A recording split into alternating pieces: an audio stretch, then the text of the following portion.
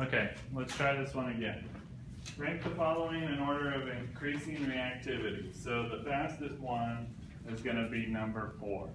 Okay, this one's, uh, ranking leaving groups in an SN1 reaction. So, which would give you the fastest, um, SN1 reaction? The, the biggest one is gonna give you, the biggest one, okay? Why the biggest one? Not chlorine, that's, that's iodine, right? So iodine's gonna be four, or three in this case. Bromine's gonna be two, and chlorine's gonna be one. Why?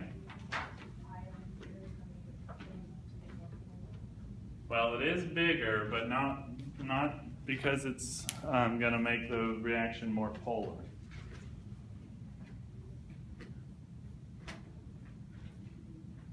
Anybody remember what we said? What was that? Uh, kind of, I guess you could think of the bond as more polarizable.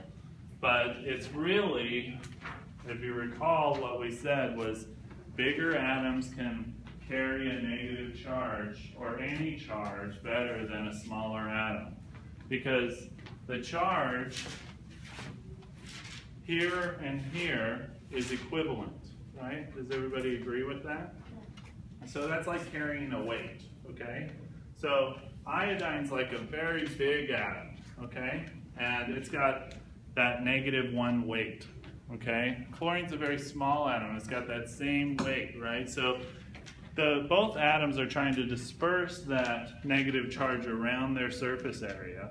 So whichever one has the biggest surface area can distribute that charge to more parts of its surface area and kind of distribute that weight, if you, we will, right? That weight that we were talking about, uh, along more of its surface area and make it less um, charge dense in any one area, okay?